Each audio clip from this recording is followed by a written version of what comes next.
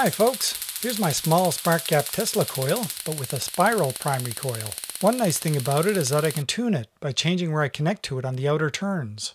Something you don't often see on a mini one of these. As you can see, it gives pretty good results. Here's how it's made. First, of course I designed it using the Java TC online calculator. I start out with six turns. When I click on the Run Java TC button, I get secondary and primary resonant frequencies that are very close together. And if I turn on Auto Tune and do it again, the frequencies are right on.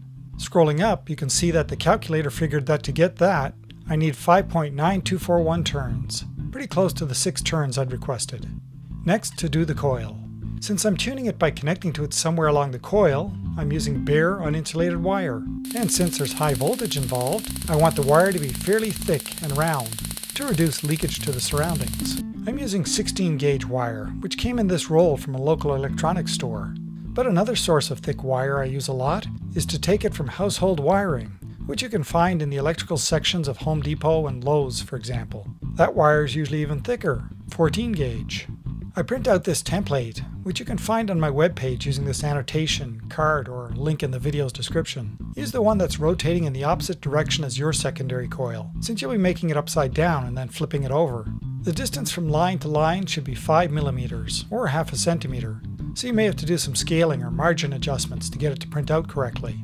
Put some lengths of clear tape on it, with the sticky side facing up, each one overlapping the next.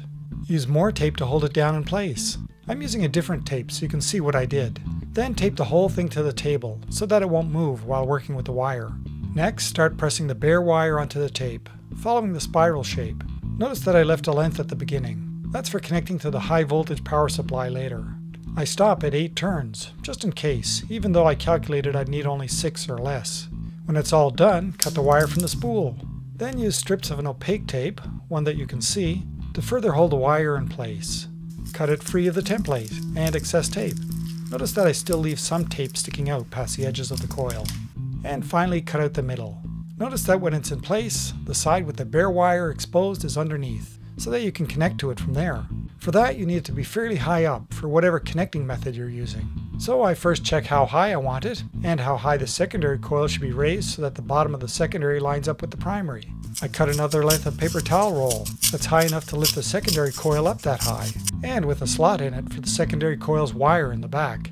I put it in place and add a little tape near the bottom. A quick test shows it works well. Then I cut four pieces of scrap plastic. Notice that since I used a pencil to draw the outlines on the plastic, and the graphite from the pencil is electrically conductive, I make sure to cut within the lines, so that I don't have any graphite on my pieces. I then hot glue them under the spiral coil. I also trim off this excess wire. Time to connect it up and tune it. I put in place that extra cardboard ring that I'd made. Then I slip the primary spiral over the secondary and lower the secondary down in place, followed by the primary. I connect the inner side of the spiral to the high voltage from the power supply. I connect a wire with an alligator clip on one end to the spark gap. The other alligator clip goes to somewhere on the primary coil. To tune it, I get a long plastic rod. Anything plastic will do. I connect another wire with an alligator clip to one end and use a clamp to sit it on the table. I put a needle in the alligator clip. The other end of the wire just dangles loose. I move the tip of the needle near the Tesla coil's top load and turn on the power supply and turn it up. I pull the needle away until the spark is non-continuous and then move it in until it's continuous again The first type of tuning is to get the optimum position of the spiral coil with respect to the tall secondary coil. When I'd hot glued the plastic legs to the spiral, I made sure they'd make a snug fit on the secondary, allowing me to position it at any height. So I try different positions, testing the effect on the spark length each time. I get the longest continuous sparks with the spiral raised this much with respect to the secondary. This is called the coupling, the coupling between the two coils. Going back to the calculator, you can see a recommended coupling coefficient here, and the calculated one here for if the coils line up at the bottom like I originally had them. But if I put the recommended coupling coefficient back in the calculator here, and turn on Auto Tune and run Java TC, then the coefficients are the same. And up here, sure enough, it's told me to raise the primary spiral coil, which I did, so my tuning matches what the calculator computed. Next, I reposition the connection to the spiral coil. Then I play with the distance between the needle and the top load some more to see if I can get a longer continuous spark. I keep trying different positions on the coil until I get the longest continuous sparking. It's hard to tell precisely where it's best, but it's around the 5.9421 turns that the calculator had recommended. Time for some fun. I attach the needle on top to get streamers.